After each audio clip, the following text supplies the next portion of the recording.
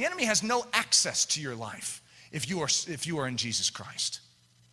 If you walk in obedience when God convicts and you respond, the enemy has no grounds, none. The moment the enemy tries to dupe you into saying, just take the night off. Okay, you've been serious about this Christianity thing for, you know, a good stretch of time now, just one night. What's he doing?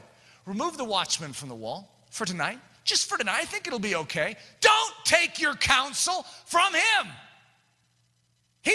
Waiting for the watchman to be removed from the tower. What's the first thing he's gonna do? He's gonna march on your structure, he's gonna mark, march on your city. He is not an idiot. He wants you dead.